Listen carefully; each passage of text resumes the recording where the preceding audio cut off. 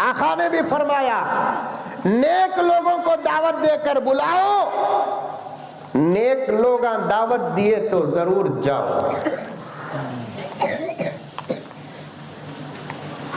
हमारे दावतों का हाल क्या कि हमें नेक लोगों को ही भूल जाते हैं दावत देने में, और नेक लोग अगर गरीब है, दावत देते हैं तो हम उनको भूल जाते हैं। वही अगर कोई बड़ा तोप और सूरमा दावत देता है तो मोबाइल में अलार्म रखते हैं कहीं भूल ना जाए।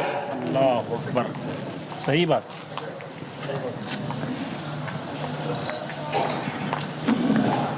दावत देने वाला कौन है ये ना देखो।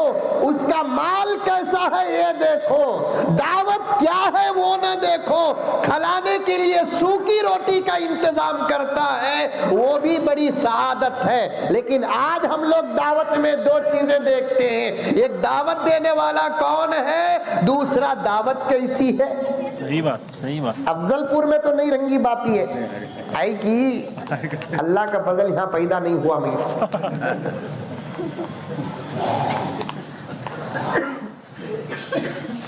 हज़रत अली रज़ी अल्लाह अन्हु इरशाद फरमाते किसी के घर मेहमान बनकर जाओ वहाँ से खाने के बाद जब आओ तो तुम खाने की तारीफ़ करना।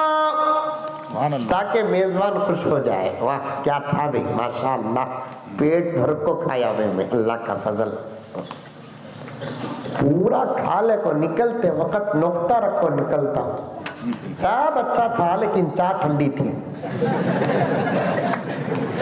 की कहते ये जुमला निकले बगैर अंदर गया सो हजम नहीं होता।